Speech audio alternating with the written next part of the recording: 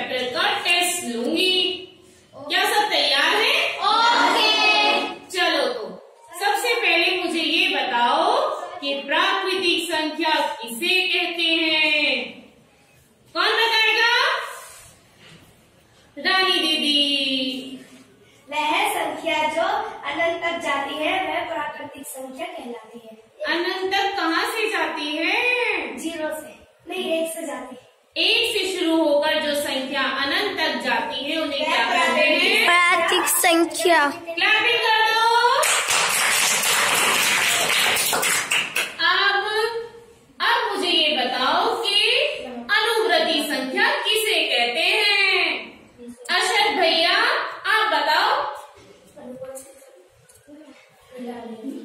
अगर पच्चीस में से एक घटा दिया पच्चीस में से एक घटा देंगे तो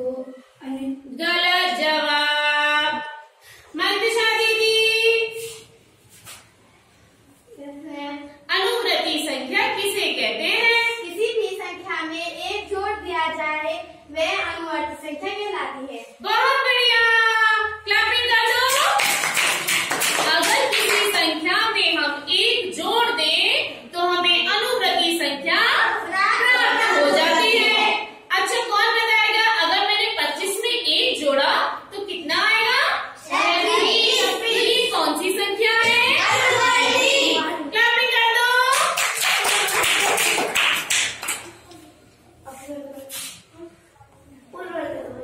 bus